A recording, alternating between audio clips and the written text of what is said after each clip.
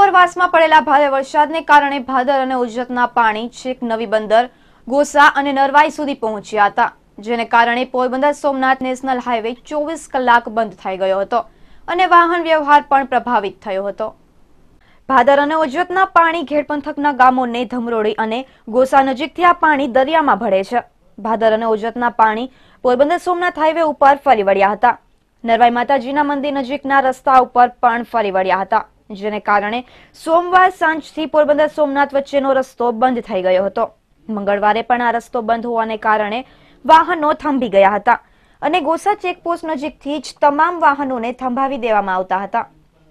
તો બીજી તરફ, પાણીના ભારે પ્રવાહને કારણે નરવાઈ માતાજીનું મંદિર પણ જળમય બની ગયું હતું. Bureau report, Gujarat news, Porbandar.